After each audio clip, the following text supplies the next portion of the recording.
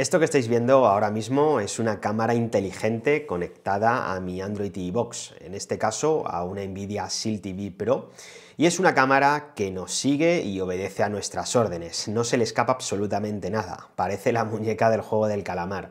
Bueno, si quieres saber de qué se trata, quédate que comenzamos.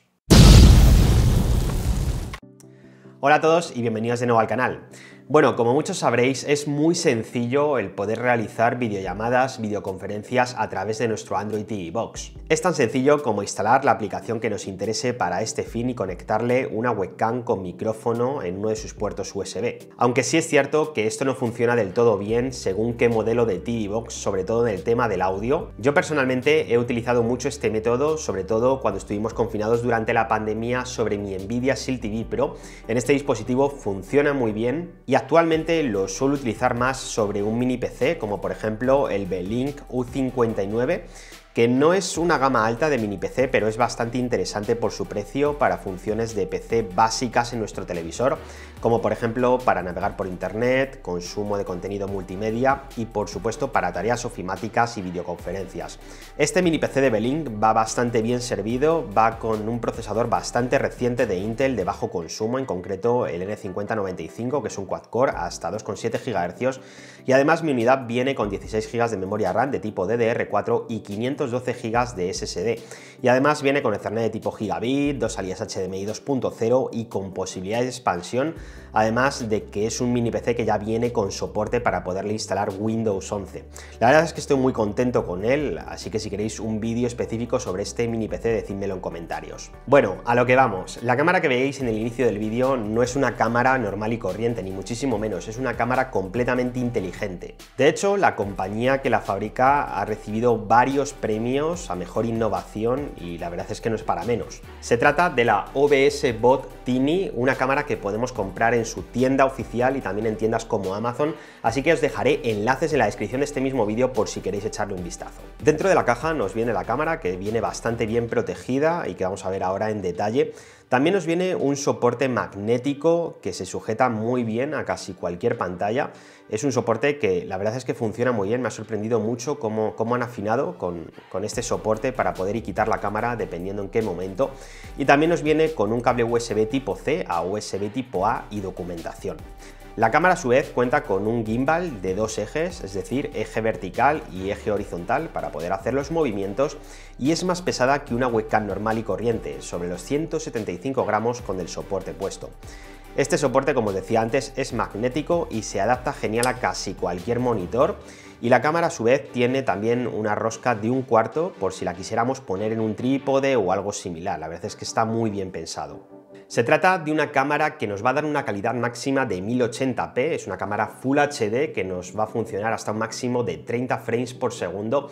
Y es f2.2, por lo tanto es una cámara bastante luminosa y que nos va a dar muy buena calidad de imagen, de lo mejor que he visto yo en una webcam, sobre todo cuando tenemos poca luz, lo vamos a ver después.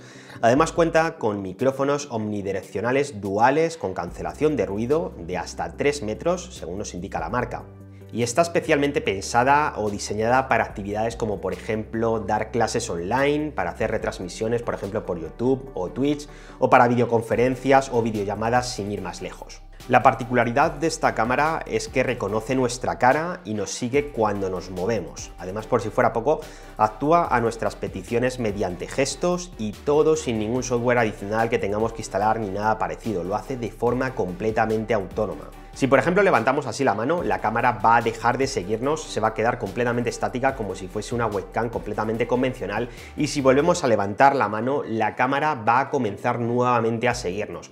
Además, reacciona a estas peticiones de una forma prácticamente instantánea, tarda poquísimo y tiene unos LED en su parte frontal que nos indicará si ha procesado lo que es la orden de forma correcta. Cuando se pongan en color azul, significa que ha procesado esa orden y va a comenzar a hacer justo lo que nosotros le hayamos dicho.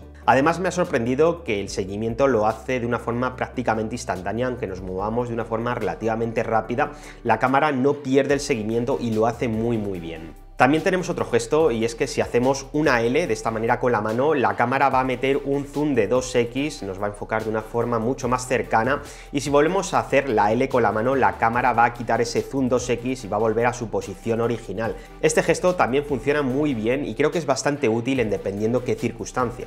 Y si queremos configuraciones más avanzadas, tenemos un software que podemos instalar en Windows y en Mac y que podremos descargar desde su página web. Con este software podemos actualizar el firmware de la cámara, que es lo primero que yo hice, y me llamó la atención de que pesa bastante, más de 200 megas, por lo que entiendo que el tema de la inteligencia artificial en esta cámara está en el propio firmware que metemos en la cámara. Con el software que instalamos en el ordenador también podemos mover la cámara a nuestro gusto o ajustar su comportamiento ante los gestos, así como ajustar el zoom o establecer unos presets predefinidos.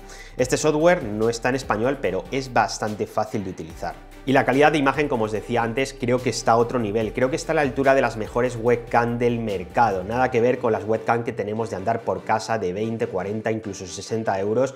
Es una webcam de un uso bastante más profesional, así que para que podáis juzgar vosotros mismos os voy a dejar una muestra de ello. Esto es una muestra de cómo graba esta webcam únicamente con la iluminación del techo de una habitación. Además estoy hablando más o menos a un metro de distancia de la webcam para que veáis cómo recoge el audio sus dos micrófonos integrados.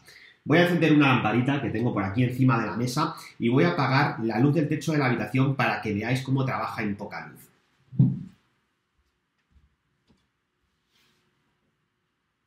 Como veis me ha seguido perfectamente, me sigue perfectamente incluso con poca luz es una auténtica pasada.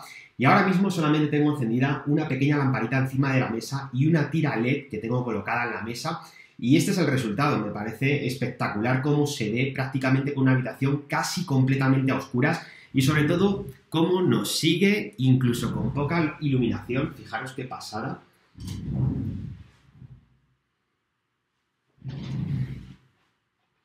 Me parece una locura esta webcam.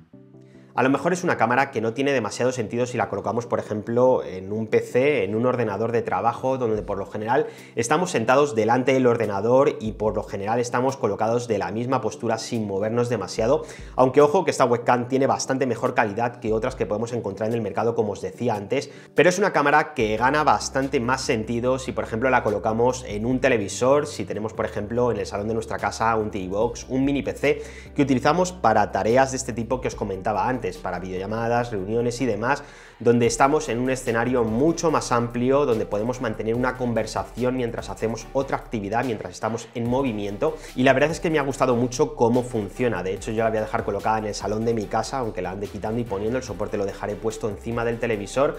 Y para videoconferencias, videollamadas con familia y amigos, la verdad es que el resultado es espectacular. Ahora me gustaría que vosotros me dijerais en comentarios si creéis que este tipo de dispositivos tiene sentido. Yo personalmente creo que sí, que tiene su nicho de usuarios y creo que está muy bien que las empresas, que las marcas desarrollen o evolucionen en este tipo de productos que son muy básicos, pero que tienen todavía margen de mejora como hemos visto. Me gustaría leer todos vuestros comentarios, así que podéis comentar por aquí abajo. Si el vídeo os ha gustado, me encantaría que me dejarais un buen like, no olvidéis suscribiros al canal y activar la campanita para más vídeos como este. Una vez más, muchas gracias a todos por estar al otro lado y yo ahora me despido. Hasta el próximo vídeo.